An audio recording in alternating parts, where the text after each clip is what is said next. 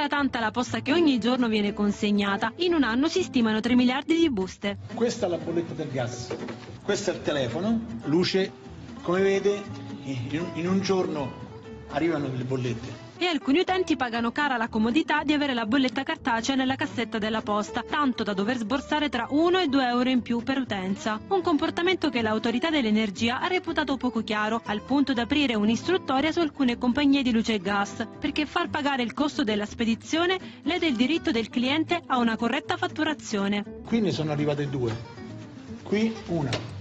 Se si ipotizza in media un sovrapprezzo di circa 2 euro, moltiplicato per le 18 fatture che ogni famiglia riceve in un anno, in totale sono 36 euro di costi in più. In pratica, il prezzo di una pizza fuori o 12 kg di pasta nel carrello. E poi attenzione ai contratti sottoscritti via web, perché se si modificano le modalità di pagamento scegliendo il bollettino postale rispetto all'addebito diretto sul conto, o se dopo aver scelto la fattura online si opta per la cartacea, il costo di luce e gas può diventare più alto. C'è tanto da pagare. あれ。